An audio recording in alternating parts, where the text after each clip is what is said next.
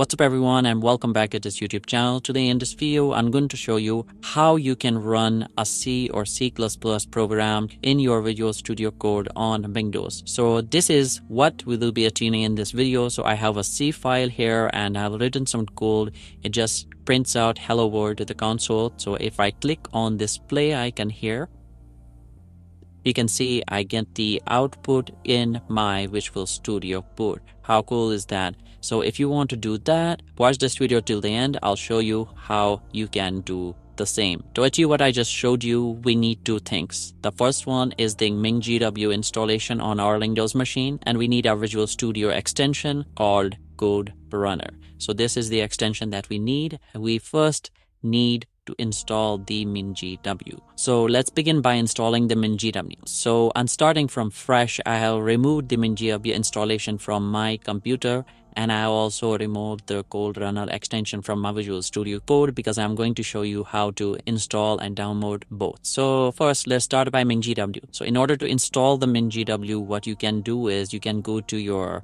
browser. If it's Chrome, you can go to your browser and in the Google, you can search for MinGW and you will get this first result which says MinGW-minimalist GNU for Windows download. And you need to make sure that the website is sourceforge.net. So if you see this result, click on it. And after that, what we'll do is we'll click on this download and it says download will start shortly. So let's wait.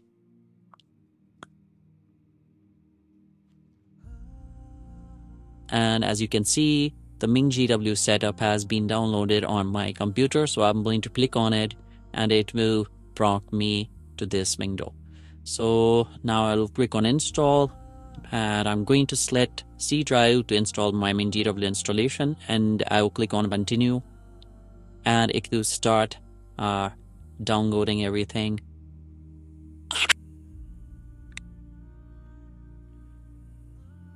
As you can see, the download is complete and I will click on continue. Now I'll be taken to this window and here I'm going to select GCC and G++ and click on Mark for installation. And I'm going to click on yeah uh, let's let's pick on this MinGW 32 base as well mark for installation and I'm going to click on this installation and click on apply changes. Now again I will click on apply. And it will start to download. Things for me. I will fast forward again till it completes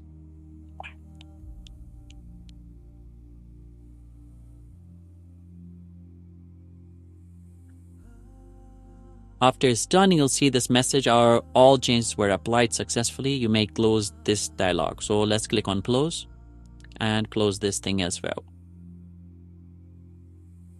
Now, one last thing that we need to do is we need to go to the C drive where we installed the MinGW. And in here, we need to go to bin and we need to copy this URL from here. Now go to search bar and search for environ.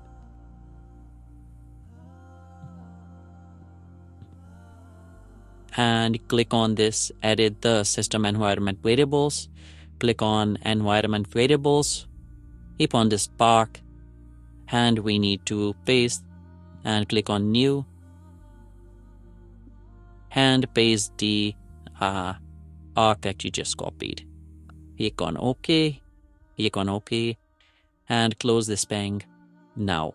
In order to check if MinGW was installed correctly, let's open command prompt cmd search for cmd and click on this command prompt and in here we can say gcc dash dash version pick enter you can see it gives us the version number of our gcc installation so it means that we have successfully installed MinGW on our machine. If you get any errors, that means that you have done something wrong.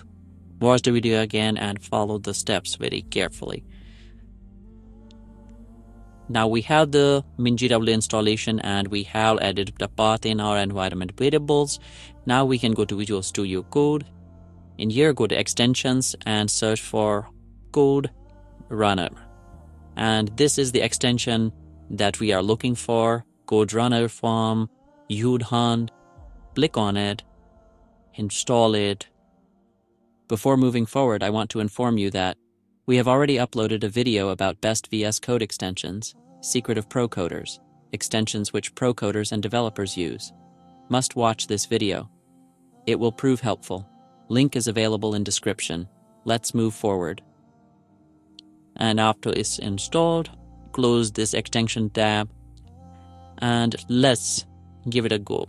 So we have this C program here. If I run it, you can see I get the output. If I see say printf subscribe, save the file, run it again, you can see the output says subscribe. So now that the C program is telling you to subscribe, you shouldn't ignore that message and you should subscribe to my channel and you like this video. So this is it for this video. I'll see you in the next one.